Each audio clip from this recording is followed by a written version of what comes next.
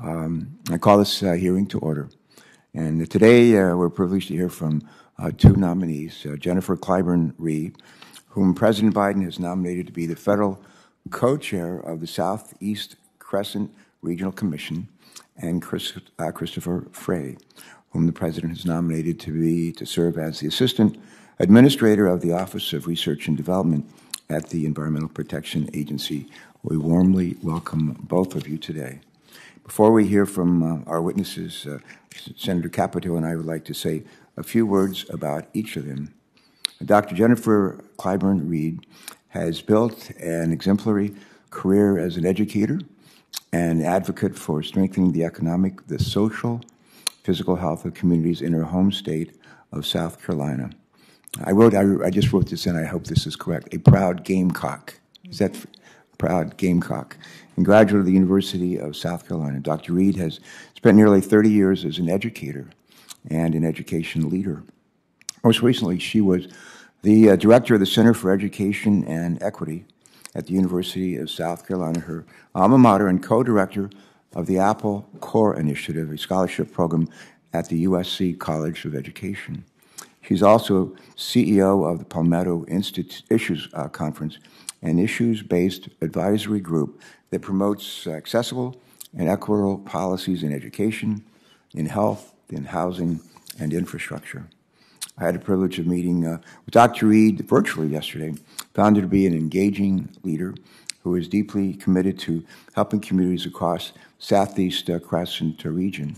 And if confirmed, uh, Dr. Reed will be the Southeast Crescent uh, Regional Commission's first federal co-chair since it was created in 2019. Just let me repeat that. If confirmed, Dr. Reed will be the Southeast Crescent Regional Commission's first federal co-chair since it was created in 2019. Having her in this role will allow this agency to fully commit its resources toward addressing economically distressed areas across parts of Virginia, uh, the Carolinas, Georgia, Alabama, Mississippi, and Florida. So I'm delighted that uh, Dr. Reed could join us here today. We look forward to hearing her vision for this role. Uh, she'll, I'm sure she'll uh, uh, uh, introduce a couple of relatives and maybe some friends that are in the the audience. But but uh, Senator Capito and I've had the privilege of serving with uh, with your dad, and it's a special privilege to welcome him here today. I'd like to say that I could we could see his lips move when you speak, but with the mask on, we won't see his lips move at all. but we know he's here to provide encouragement and and support. Uh, President uh, Biden nominated our second witness today, Henry uh, Christopher Frey, who I believe goes by the name of Chris, to serve as EPA Assistant Administrator for the Office of Research and Development. Dr. Frey has built a remarkable, accomplished uh, career as a pioneer in the fields of modeling human exposure to air pollution, as well as the measurement and modeling of vehicle emissions, and applying those emissions uh, estimates to risk assessments. At a time when the EPA is recommitting itself to science-driven decision-making, Dr. Frey's experience makes him an excellent choice to lead research and development at the agency. Dr. Frey has been a professor for 27 years at North Carolina State University, where he has dedicated himself to research and cultivating uh, the next generation of scientific leaders. He also has extensive experience working with the Environmental Protection Agency, in 1992, Dr. Frey was a, a AAAS. I'd never heard of a AAA. I've heard a lot of AAAs, but a AAAS, Environmental Science and Engineering Fellow at EPA. And he has served as, uh, served as Exposure and Modeling Advisor in the EPA's Office of Research and Development's National Exposure Research Laboratory from, I believe, 2006 to 2007. He's also served in several other capacities at EPA through the years, including as a member of the EPA's Federal Insecticide, Fungicide, and uh, Rodenticide uh, Act, FIFRA, affectionately known as FIFRA. Science Advisory Panel from uh, 2004 to 2006, as a member of the EPA's Clean Air Scientific Advisory Committee from 2008 to 2012, as chair of that committee from 2012 to 2015, and as a member of the EPA Science Advisory Board from 2012 to 2018. Let me also add that Dr. Frey has received public support from seven of his uh, predecessors for this role, including both Republicans and Democrats, going back to the Reagan administration. There may be no better endorsement for a job than from someone who has held it before, much less seven former leaders who served in these roles from both sides of the aisle. I also had the opportunity to uh, speak with Dr. Frey earlier this week, and he is quite impressive. Uh, should uh, he be confirmed, he will be undeniable champion of science-based decision-making and scientific integrity at the EPA's Office of Research and Development. We're looking forward to hearing more from him today. But before we do, we're going to hear from our ranking member, Senator Capito, for her opening statement. Senator Capito. Thank you, Mr. Chairman. I want to thank our two witnesses today for uh, being willing to serve. Uh, I think um, it's an admirable uh, trait uh, that uh, public service, and we certainly appreciate those efforts and look forward to hearing from both of you. Thank you, Chairman Carper, for having the hearing. Um, as, as he has mentioned, uh, Dr. Jennifer Clyburn Reed uh, is uh, will be the first um, to lead the Southeast Crescent Regional Commission, which is going to be an interesting uh, exercise for me to watch since we have the Appalachian Regional Commission in our states, and we've seen how that's developed over the years. And then, of course, the Environmental Protection Agency Office of Research and Development, Dr. Chris Fry. Um, each of you has uh, devoted the majority of your careers to education, and for that, you deserve a great recognition. I thank you. Dr. Clyburn Reed, and it's nice to see your father in the audience uh, today. I had the pleasure of playing golf with him one time, quite a golfer. Um, I commend you for your service in education at all levels, because you've obviously taught at uh, every every level in every a lot of different types of situations, and for what you've done for your state of South Carolina. I look forward to hearing about you and what your plans are for the commission. Uh, Dr. Fry, I know you have been a um, college professor for 27 years, including at the University of Pittsburgh and North Carolina State University. Um, and you are now nominated for this position. Um, as we discussed during our meeting last week when we spoke, and I thank you for that, uh, this is one of science, a scientist, not a policymaker or a politician. The research conducted in this office is used to inform critical policy decisions made by the agency's regulatory offices. Establishing public trust requires that the scientific studies are developed in an open and transparent fashion. You and I talked about this, not hidden from robust public scrutiny. Um, I uh, transparency. I, I, I, get. I take the opportunity every time I get the chance to talk at this at this dais, talk about the, the frustrations that I have with this administration on transparency, because it's not only critical in the scientific process, but also in policy proposals and the accountability that accompanies these decisions that this administration is making. I'm, I am very disturbed about this administration's lack of transparency, particularly on climate and environmental issues. I have asked repeatedly the EPA and the White House several times now under uh, now how the new U.S. nationally determined contribution, or NDC, under the Paris Agreement was calculated. I am still waiting to hear how that calculation was made. Um, the, the pledge being to reduce emissions 50 to 52 percent by 2030. And how is that possible, and what regulations would be put in place to make that possible? Administrator Regan committed to me back in April to provide EPA information used to develop the NDC, and he has not fulfilled that promise. I'm actually going to have breakfast with him next week. I'll have to, I'll have to make sure, uh, not only here in a public forum, but privately to reiterate this. At the end of October, and after repeated uh, attempts to get information, I still do not have a substantive response. I get the sense that they're slow rolling the, this information, hoping that this tax and spending spree that we see being squabbled over over on the House side um, would have been enacted by now and overshadowing some of the regulations that this administration has planned. But that hasn't happened yet. Now the administration is trying to have something uh, to present it to the climate conference in Glasgow, which will uh, to show the world that it will meet its overly ambitious targets. They appear focused on that audience rather than the American public, workers, their families, and uh, folks that are elected to represent them in Congress as everybody watches their energy bills begin to skyrocket. Proving this point, in remarks earlier this year, John Kerry, the White House International Climate Czar, called for the U.S. intelligence community to verify the authenticity of Paris pledges by China, Russia, and other countries, stating that I think the president would want to know if something is just baloney or if a country is misleading. This administration has eyes wide open for the pledges of other countries, but they have been closed the door uh, on the accountability to Congress and the American people on what the costs and what the sacrifices and the benefits would be. At the same time, the administration, through an interagency working group, is pursuing options to develop and apply a new cost for emitting greenhouse gases. President Biden wants to use this figure, known as the social cost of carbon, in all areas of federal decision making. Following several requests from me and other members of Congress, the leaders of the Interagency Washington Working Group admitted that they will not hold a single public meeting on this issue. Despite the potentially wide ranging effects of their proposals, administration leaders are yet again hiding the ball from the American people. Administration officials make vague, unanimous, or ominous remarks about using untested regulatory pathways to cut emissions. Yet, Mr. President, Mr.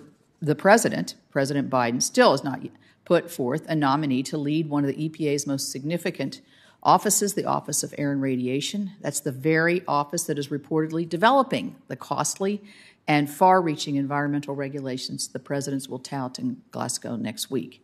In the midst of a major supply chain and transportation crisis, the president has not put forward a nominee to lead the Federal Highway Administration. The administration, uh, the agency responsible to oversee the safe use of our nation's nuclear energy power plants, the NRC, is currently working with just three commissioners and two vacancies. Instead of in- ensuring transparency and accountability the American people, the president has chosen to rely on his climate czars who are sitting in the White House and not accountable to us. Both of us are ready to advise and consent on nominees that the president brings. It is time for him to stop delaying and to nominate individuals for the positions I mentioned uh, and to stop shielding the administration's decisions.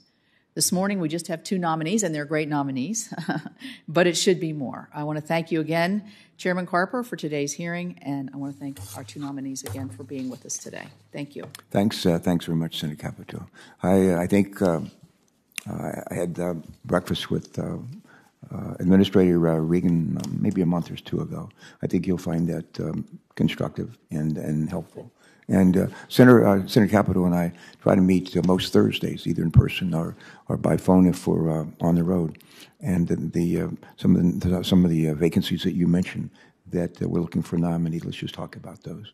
See what we can do to shake shake a few trees loose from the trees. Okay. All right. Um, with that, uh, thank you for your, for your comments, uh, uh, Senator Capito.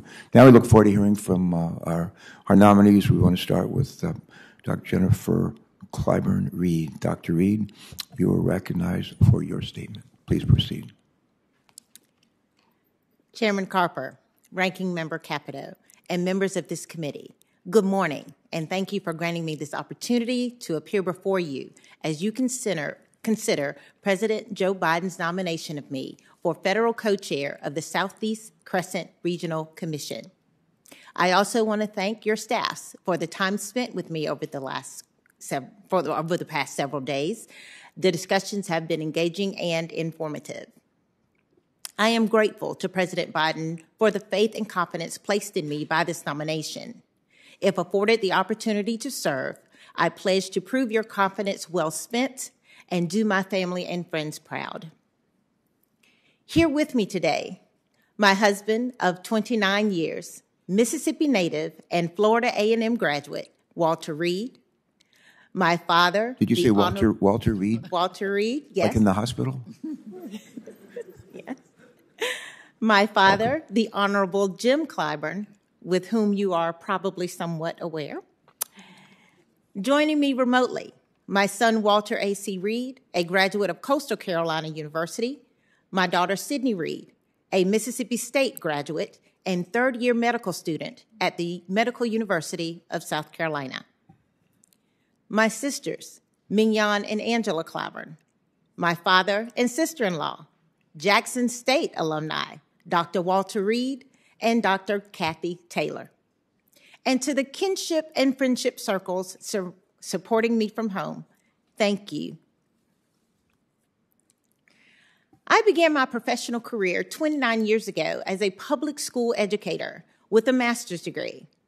Over the next 25 years, I served as a classroom teacher, a middle school basketball coach, a State Department of Education specialist, Along the way, I earned two additional academic credentials an education specialist and a doctorate from Nova Southeastern University in Florida.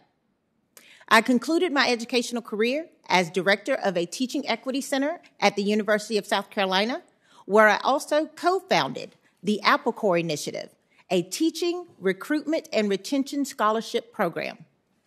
I have continued my commitment to education as a committee member of the Emily E. Clyburn Honors College Endowment at my state's only public supported HBCU, South Carolina State University.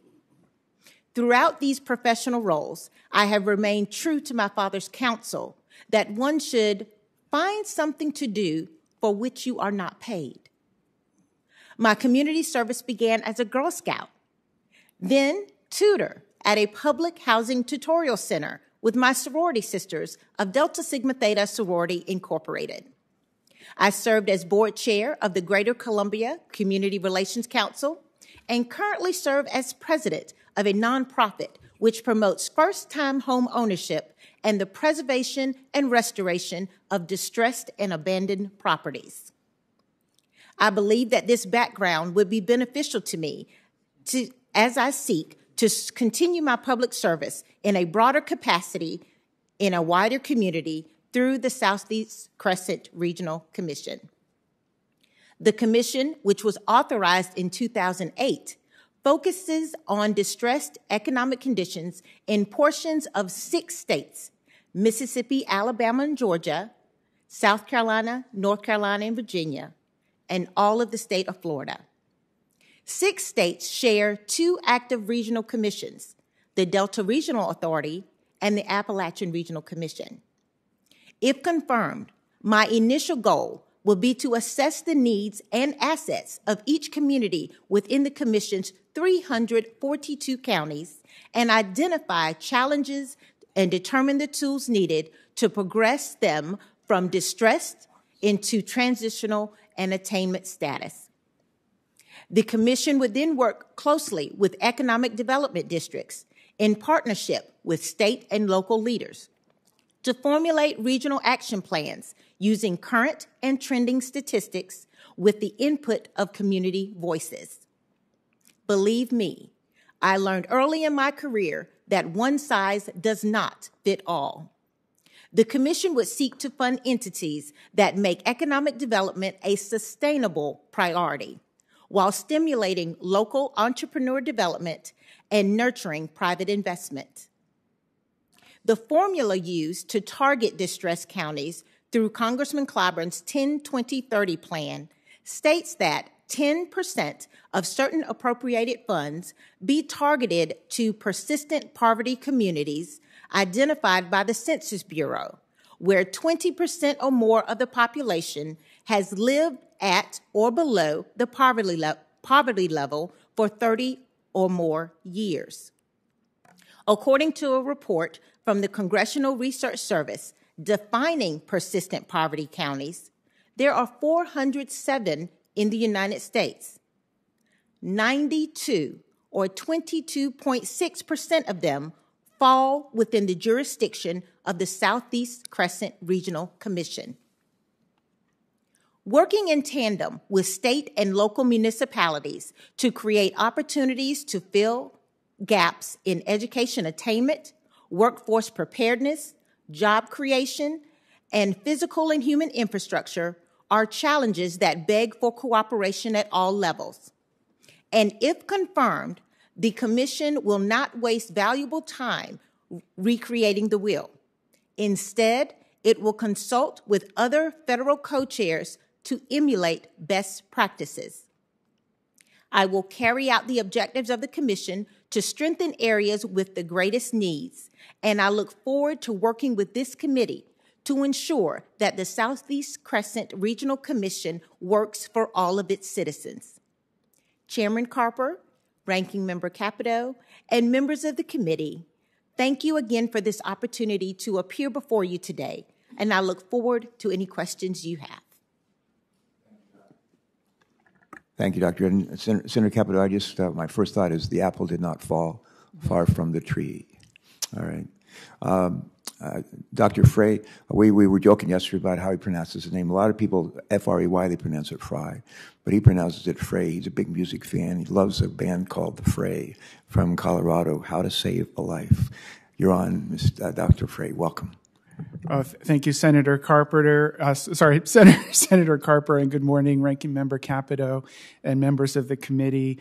I'm honored that President Biden has nominated me uh, to serve as Assistant Administrator in the Office of Research and Development at the U.S. Environmental Protection Agency. I also want to thank my wife, Deanna, and my daughter, Lauren, who are with me uh, today uh, for their support. Which one's your wife? the, the really good looking woman sitting behind me. Oh, would you raise your hand, ma'am? Uh, all right. Nice to see you. Welcome. Thanks for sharing them with all of us. Thank you, sir. Uh, and and and in fact, she she is sharing me with with all of you, and, and, I'm honored that she is. I also want to thank my extended family uh, in New York, West Virginia, uh, South Carolina, Georgia, and Florida who are watching today. Uh, science and the environment have long been my passions and my purpose. I grew up in lower Manhattan in the 60s and 70s. My family lived in a rent controlled walk up building built in the 1880s. There was lead paint on the walls, choking smog outside, and greasy flakes of soot wafted from the sky, smearing my bedroom windowsill. This affected me so much that when I was eight years old, I wrote an essay titled Pollution. And I posited that pollution is bad for people and animals too. And although I didn't realize it at the time, I identified multiple environmental media, fate and transport pathways, and adverse effect outcomes. My father typed and copied my essay and gave it to all of our neighbors. This was my first publication. I trace my career and my passion and purpose uh, to that essay and to my firsthand experience with environmental pollution while growing up. My parents instilled in me a passion for the environment as well as a sense of duty to serve the public. My father served honorably in the United States Marine Corps. After his military service, he became an oceanographer and a professor. He spent the last 22 years of his career with the National Oceanic and Atmospheric Administration, and he now rests at Arlington National Cemetery. My mother's passion was art. She was a painter and a writer. Her last book was a novel about dolphins for which she conducted extensive research. Although not rich in a material sense, she had enormous wealth of spirit. She taught me to listen to many different voices, understand how things work, and work with others to find solutions. With my parents teaching me the value of listening, observing, and public service, it's no surprise that I found my way to environmental science and engineering. I've been privileged to have spent most of my career in academia, including 27 years at North Carolina State University, while there, I researched how to improve the efficiency and reduce the cost and emissions of coal fired power plants. I helped governments and industry develop cost effective solutions for emissions prevention. I researched improved quantitative methods for uh, uncertainty and exposure and risk assessment. And my research has focused on measurement and modeling of vehicle emissions and human exposure to air pollution.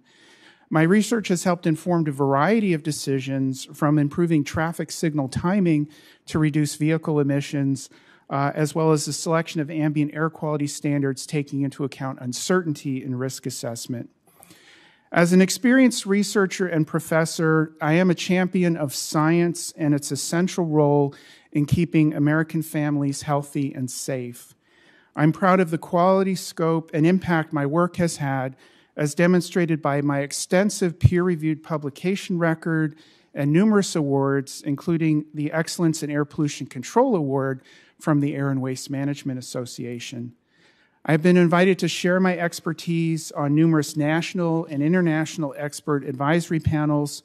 As uh, Senator Carper noted, I've worked multiple times with the Office of Research and Development, and I've served on the Science Advisory Board and chaired the Clean Air Scientific Advisory Committee. I believe that I have the scientific credentials, expertise, experience, vision, and commitment to serve as ORD's assistant administrator and to lead ORD's world class research staff. Senators, uh, applying science to solve complex challenges that affect the lives of the American people has been my highest priority throughout my career. It would be a tremendous privilege to continue this dedication at EPA. And I recognize, uh, as Senator Capito alluded to, that science is just one of the many factors that inform policy decisions. If confirmed, my leadership will start with listening. The complex environmental challenges our nation faces require an all hands on deck approach, drawing on the experience, expertise, and perspectives of numerous stakeholders, including all of you, uh, senators. Thank you, and I look forward to your questions. Dr. Frey, thanks very much for uh, your testimony. Thank you both for your testimony and your presence today. We're now ready to begin with the questions for our two witnesses. Senator Capito and I have agreed to two five-minute rounds of questions with additional rounds at the discretion of the chair and uh, the ranking member. To begin, this committee has three standing yes or no questions that it asks of all of our nominees who appear before us. So I'm going to ask uh, uh, each of you a question. For, there's a question for each of this. First, uh, do you um, agree, if confirmed, to appear before this committee or designated members of this committee and other appropriate committees of the Congress and provide information subject to appropriate and necessary security protections with respect to your responsibilities. Do you, Dr. Reed? Yes, sir, I do. Dr. Frey? Yes, sir, I do. Second question. Uh, do you agree to ensure that uh, testimony briefings and documents in electronic and other forms of communications or information are provided to this committee and its staff and other appropriate committees in a timely manner? Dr. Reed, do you? Yes, I do. Dr. Frey? Yes, I do. And uh, one more. Uh, do you know of any matters which you may or may not have disclosed that might place you in conflict of interest if you are confirmed? Uh, Dr. Reed, do you? No, sir, I don't. And Dr. Frey? No, sir. Dr. Frey, you, uh, Dr. Reed, rather, uh, you spent uh, uh, many years as an educator and one who's, uh, I'm sure, taught and inspired other other educators. Uh, I love to go into schools. I know my colleagues, Senator Capito, Senator Inhofe, do as well. And uh, I really enjoy uh, school assemblies, even with little kids. And I always remember uh, in an elementary school, it was like kindergarten to grade uh, five. And they had an assembly and a lot of, a couple hundred kids. The front row was third grade. And uh, I spoke for a little bit. And then um, so when we had a Q&A, and this little girl, third grader, raised her hand and she said, yes, ma'am, what would your question be? And she said, what do you do? I said, well, I'm a United States Senator. Every state, we have 50 states. Every state has two senators. You have uh, rules for uh, uh, your school, don't you? She said, yes. I said, rules on your bus? She said, yes. I said, rules at home? She said, yes. I said, we have rules for our country. And along with another senator, Senator Chris Coons, and our Congresswoman Lisa Blunt Rochester, I get to help make the rules for the country. A little boy sitting next to her raised his hand. I said, yes, sir. What would your question be? He said, what else do you do? And I told him that I try to help people, try to help people. And one of the ways that, we try to help people is to, uh, um, you know, make sure they have clean air to, to breathe and water to drink and, and, and on and on.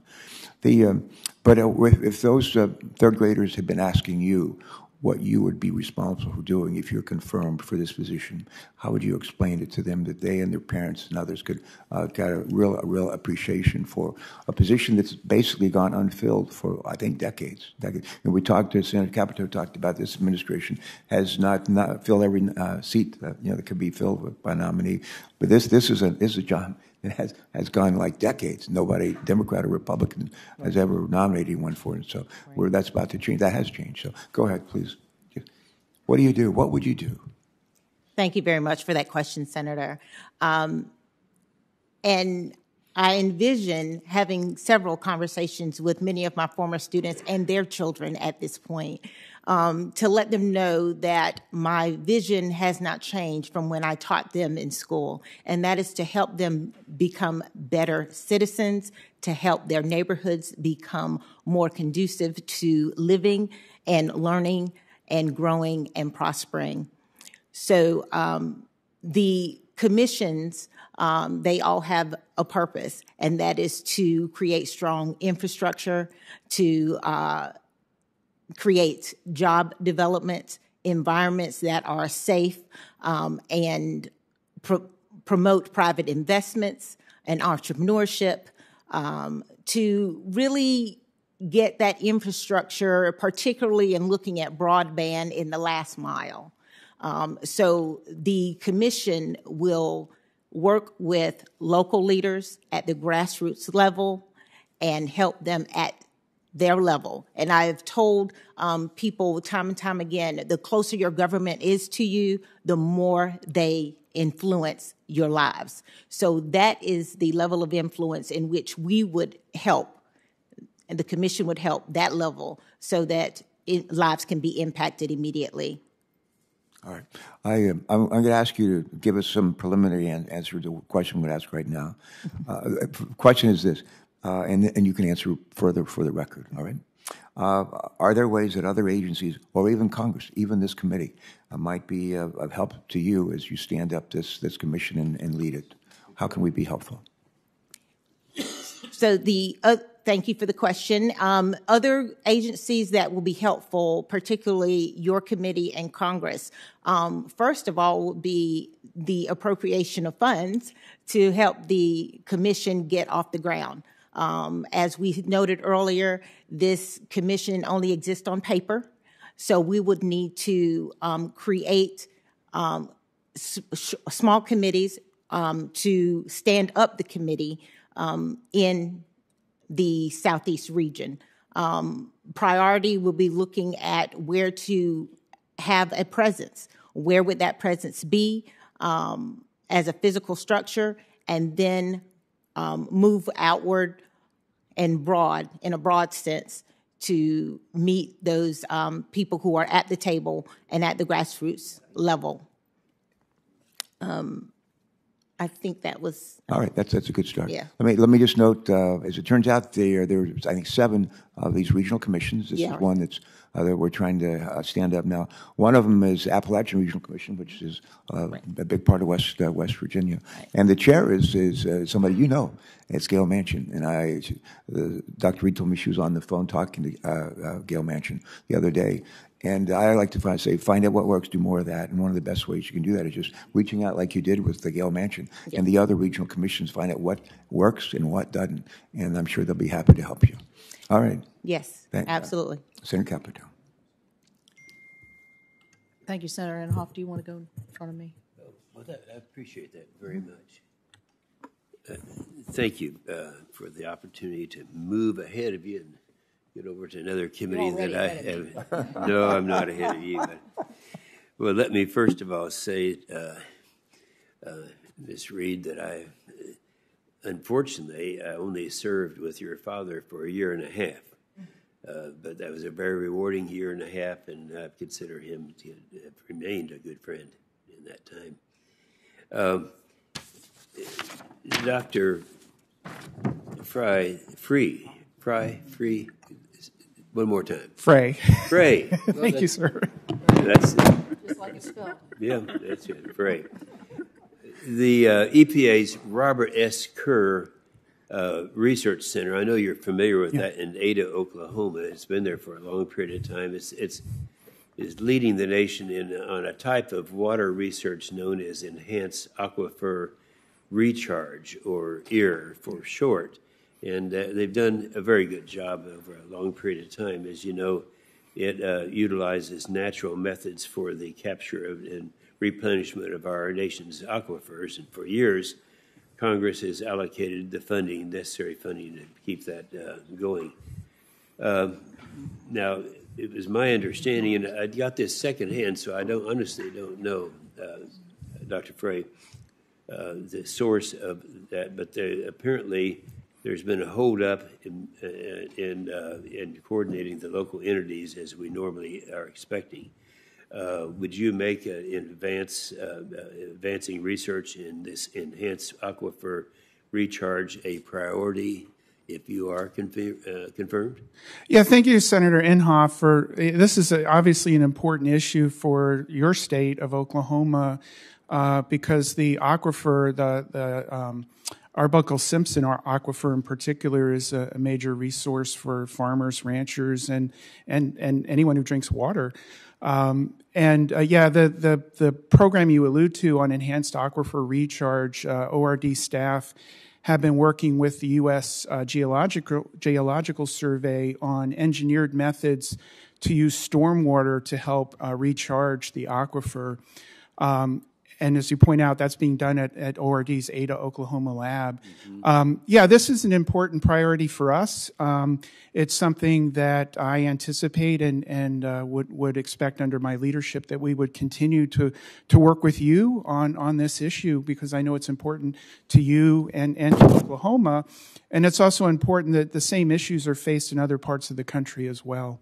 Well, I appreciate that very much and that you're, uh, are familiar with that program. The, uh, I understand that you are uh, on a leave of absence from, uh, it's an unpaid academic uh, post position that you've had with Hong Kong University of Science and Technology.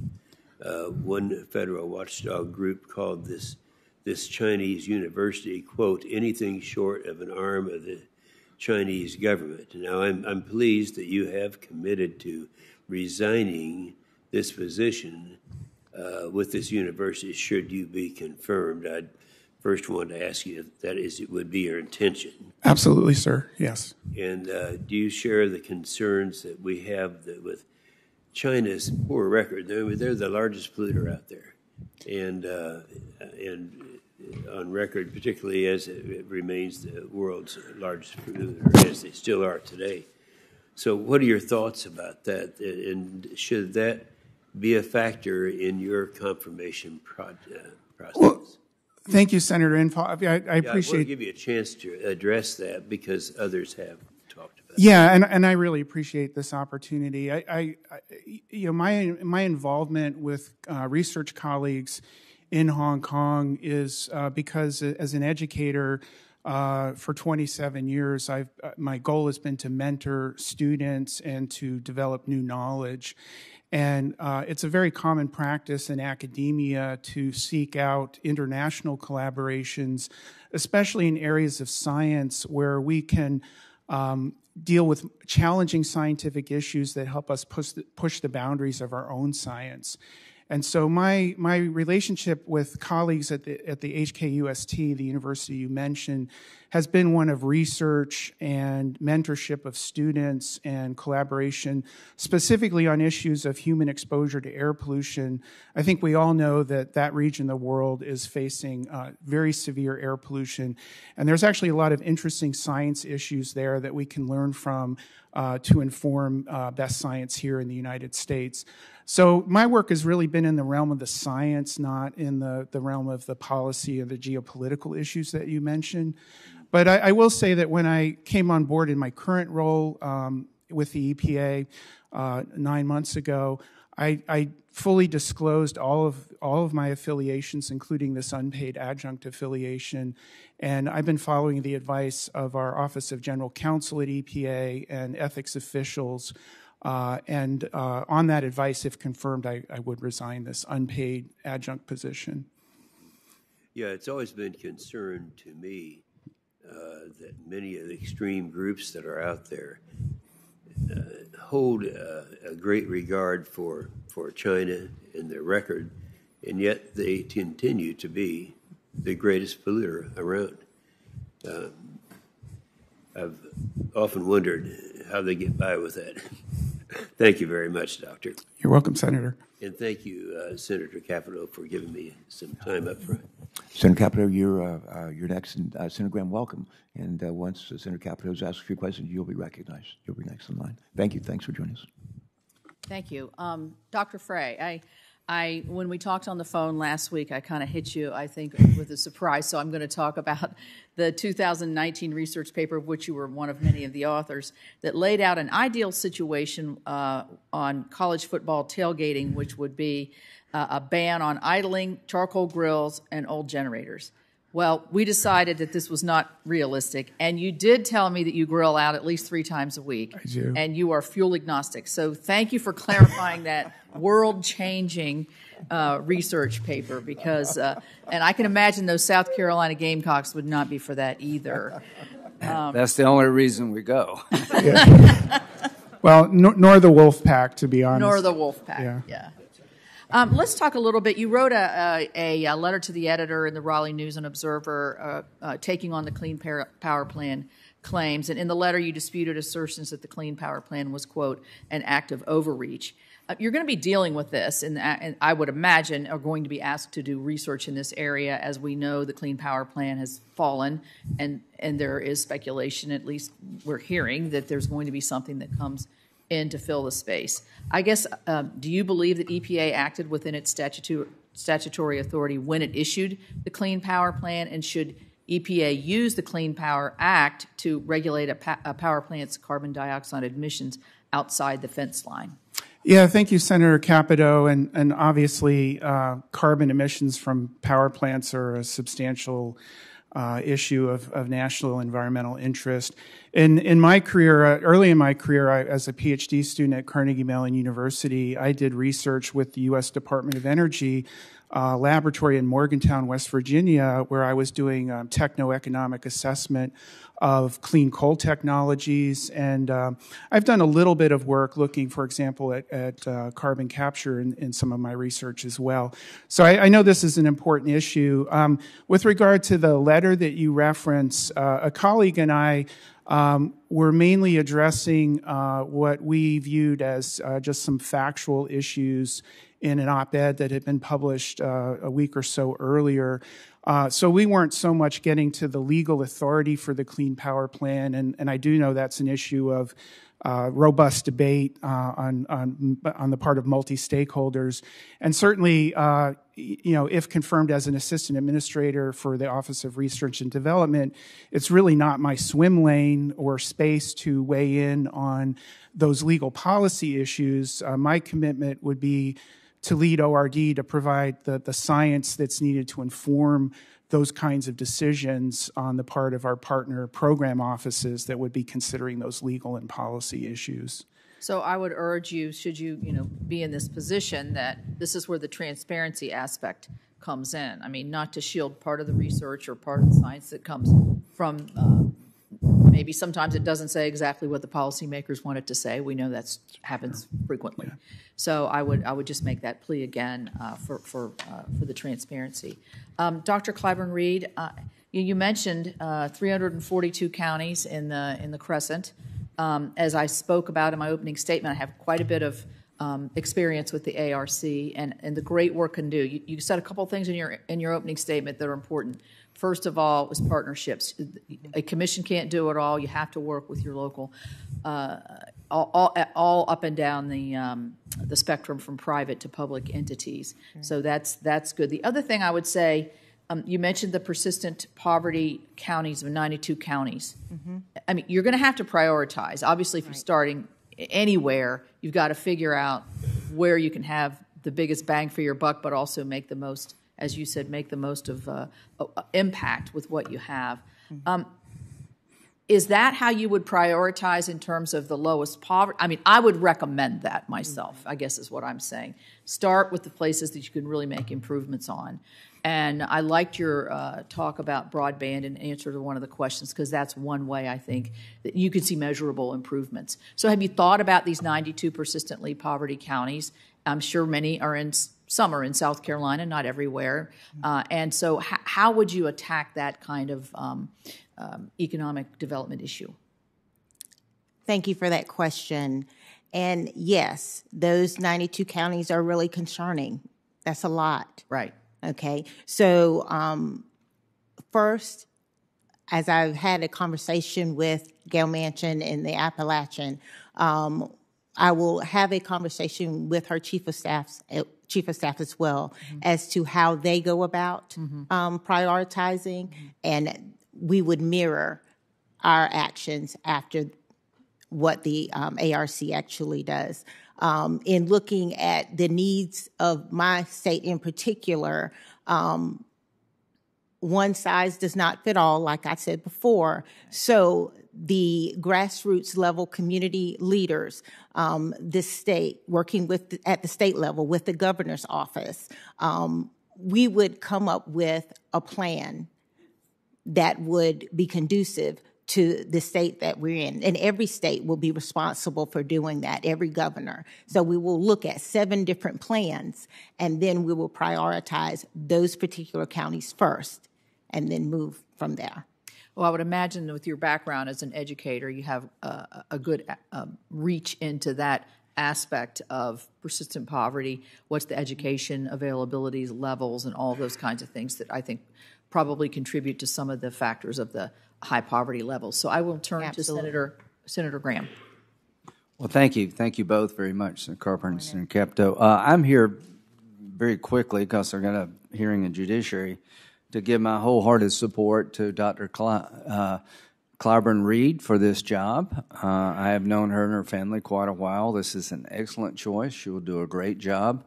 I know the entire family is proud, but all of us in South Carolina are very proud of the fact that you can that you'll be uh, the co-chairman of this organization, and I just want to thank you for being willing to serve.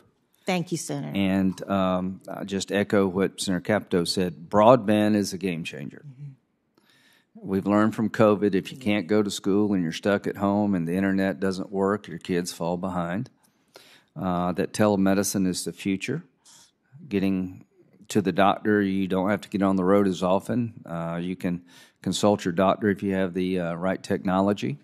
That keeps people off the highway and keeps us safe and allows medicine to be done in new and different ways. So, as the electric co ops changed rural America about 75, 80 years ago, I think broadband is going to be the equivalent of that uh, for the 21st century and beyond. And I want to recognize the work your father's done on this. And uh, Jim's here. So I know he's here as a um, proud father and as a uh, distinguished member of Congress and a uh, uh, very well known and respected South Carolinian. So I look forward to helping you with this nomination. And when you get the job, I want to do what Senator Capito did. Said let's let's put all of our resources into upgrading uh, these rural counties who have been left behind, and many of them predominantly African American. And Mr. Fry, I'm glad to see that you've changed your opinion about charcoaling at ball games. So all's good. Thank you both.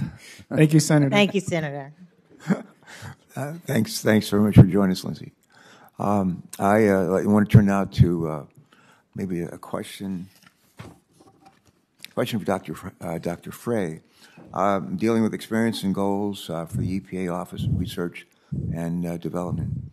Uh, Dr. Frey, before joining EPA earlier this year as the Office of Research and Development's uh, Deputy Assistant Administrator for Science Policy, you already had significant experience working with the agency, uh, including 10 years in which you served as a member of the EPA's Scientific Advisory Board, uh, a member for FIFRA, Scientific Advisory Board, and a member and chair of the EPA Clean Air Scientific Advisory Committee.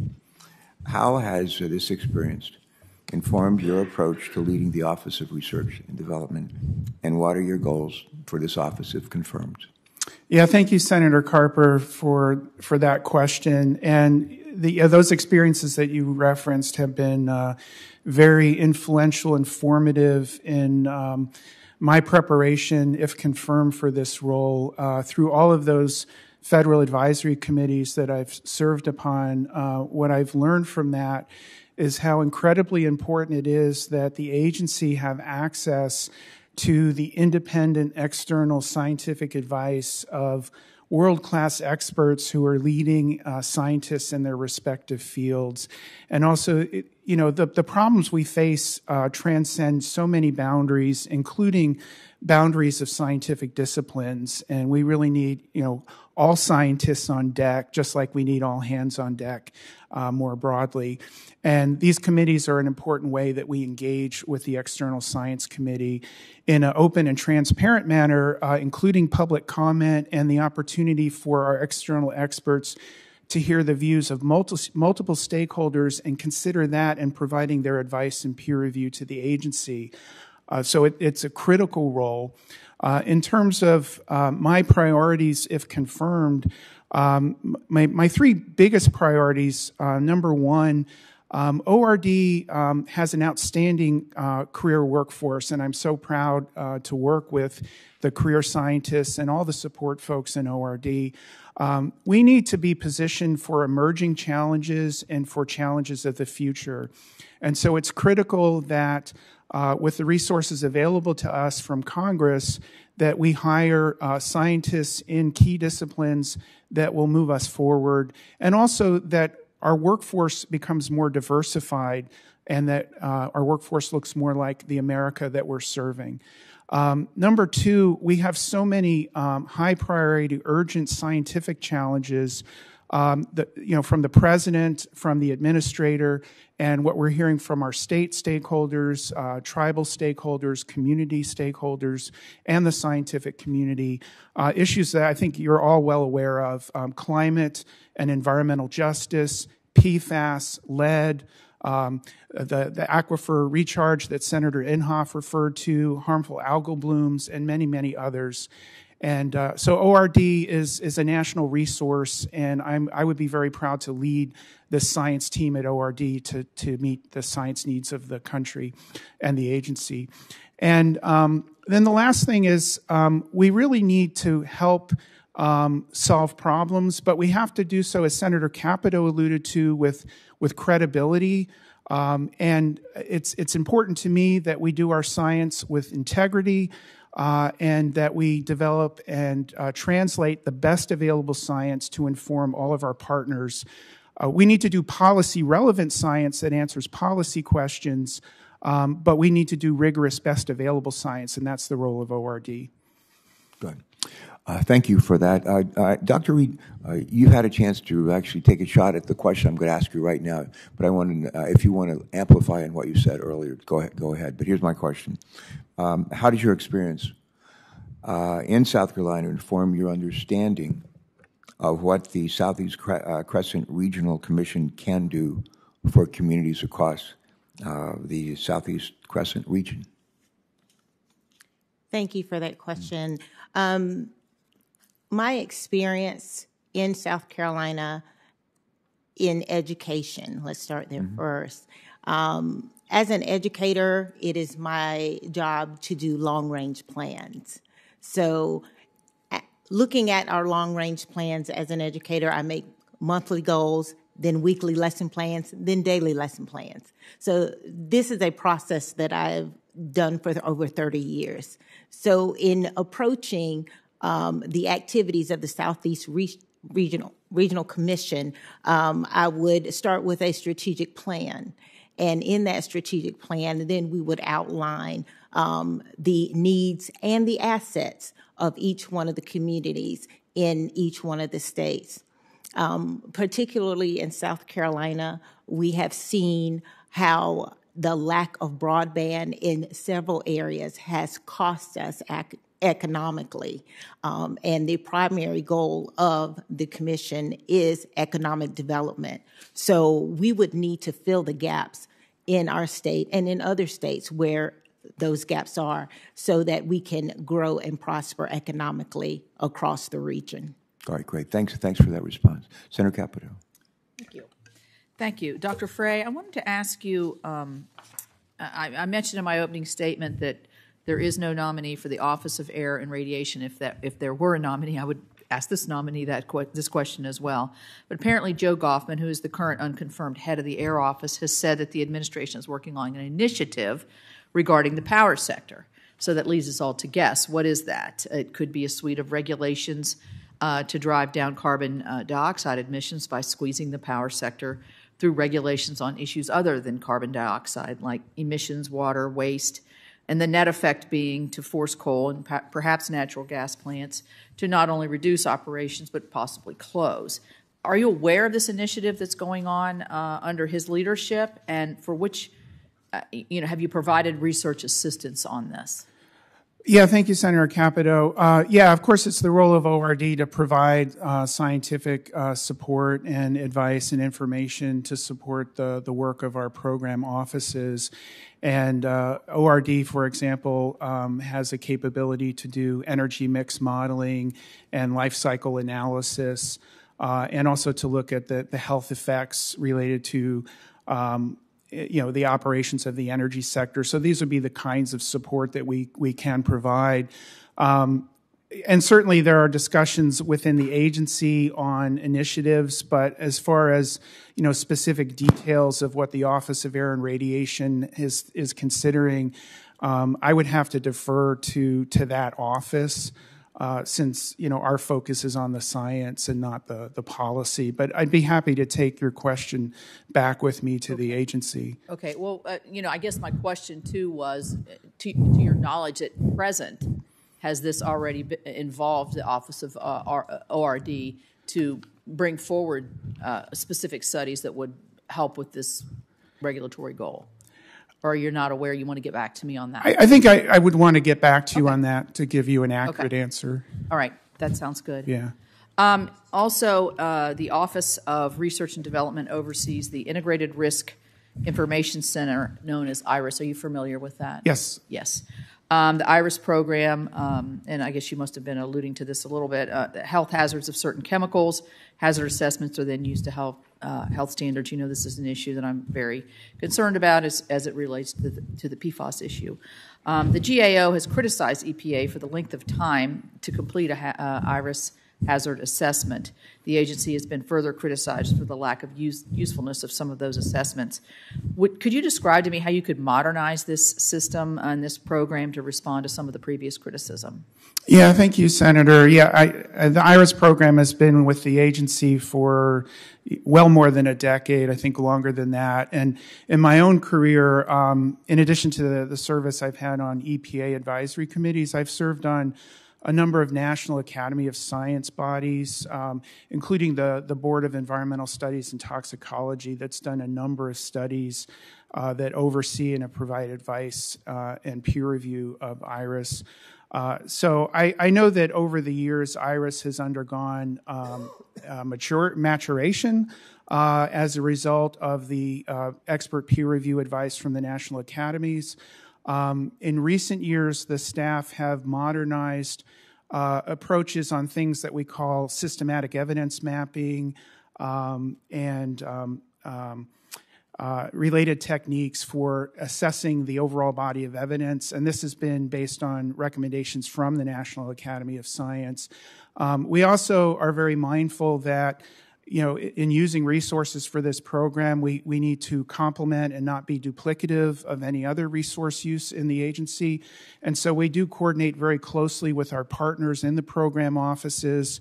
Um, IRIS assessments uh, do serve the, the needs of science, uh, of really all of the regulatory programs, the, the air, water, land, and chemicals offices. Um, and uh, we work very closely with, with the programs as well as the EPA regions to understand uh, for what chemicals do they see a need for assessment so that when we do an assessment, it's on a chemical that for which they need information that serves a, a practical purpose. All right, thank you. Thank you both.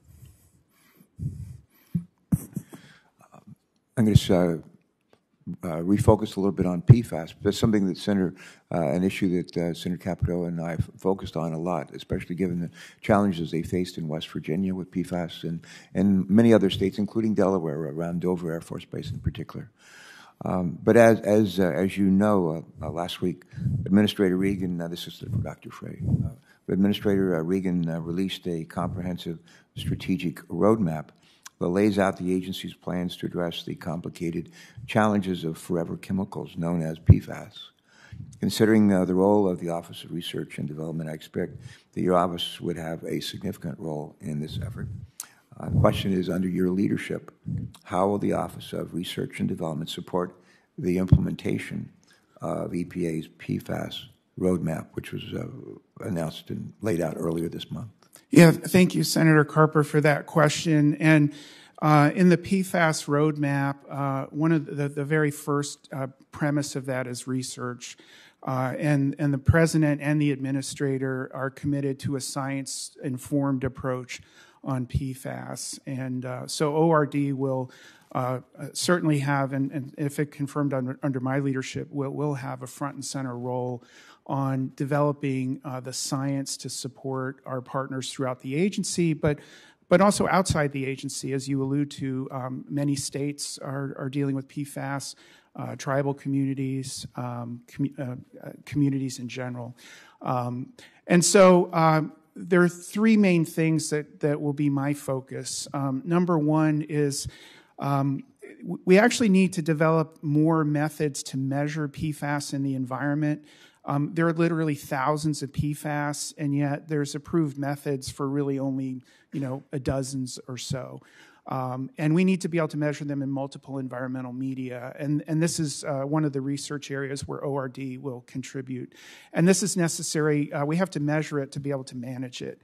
Um, the second is ORD is, uh, I think, leading, uh, you know, a, providing world class leadership on how to do the, the toxicity testing so that we can understand the human health and environmental effects of PFAS, recognizing because there are so many PFAS, they're not all the same, and we have to account for variations among different PFAS to have effective management schemes. And then the third is we have to know how to manage PFAS. What can we do to remediate PFAS or to treat PFAS in drinking water or wastewater or to destroy PFAS?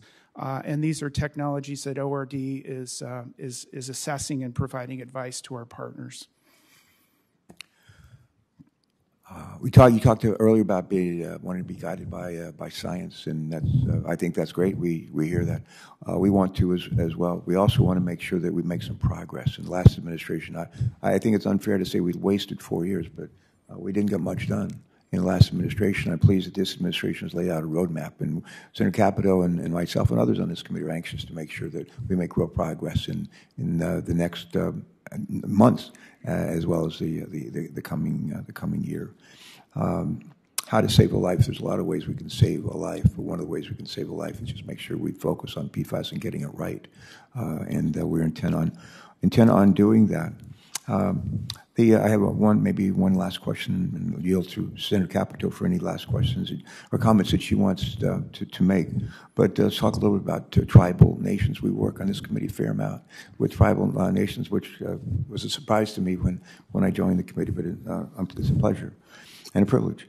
But if, if you're confirmed, how would or how will the Office of Research and Development work with tribal nations across our country to improve the natural uh, environment and health of indig- indigenous uh, Americans.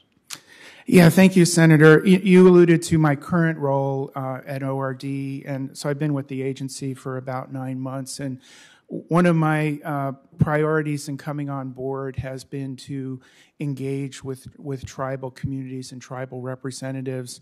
Uh, I'm really proud that the Office of Research and Development has a tribal science council, and we have a collaborative model of uh, working in partnership with uh, tribal representatives from across the country on identifying science issues and working together with tribal scientists to address uh, those issues. And, and, you know, certainly we're hearing from our tribal partners about um, climate change, environmental justice issues, water resources.